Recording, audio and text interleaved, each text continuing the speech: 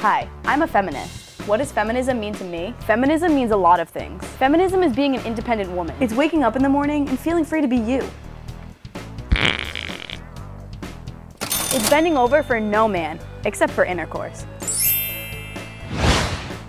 Being a feminist makes you strong. Rape isn't a sport, and men need to understand that.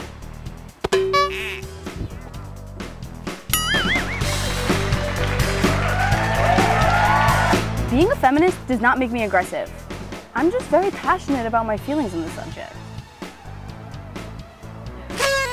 And also, fuck you! Sometimes when I go to parties, boys give me free beer because they think I'm cute. Do you think I'm cute?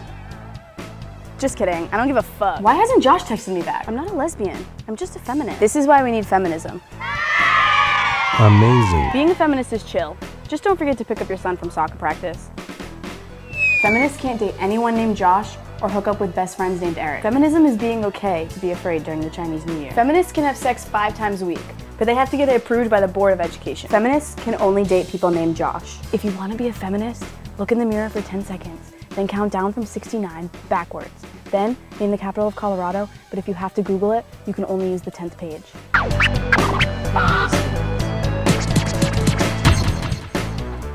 Don't confuse feminists with spaceships. They aren't the same. They say you only use 10% of your brain, but feminists use 72%. 100% when it's a full moon. Incredible. Feminism is like looking out a glass door when it's foggy outside, but still being able to make out vague shapes. Feminism is like looking at a rainbow and not thinking about Skittles.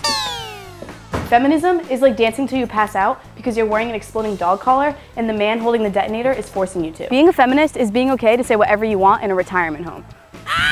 Feminism is showing up to Emily's party and not giving a fuck when you hook up with her ex-boyfriend.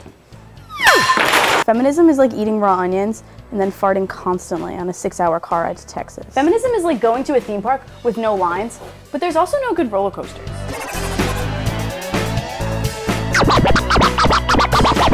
I understand. Feminism. Let's go fuck shit up. Feminism is kind of like your friend coming over because she thinks your older brother's cute.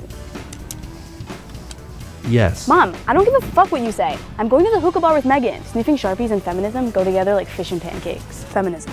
Because orphans need Christmas too.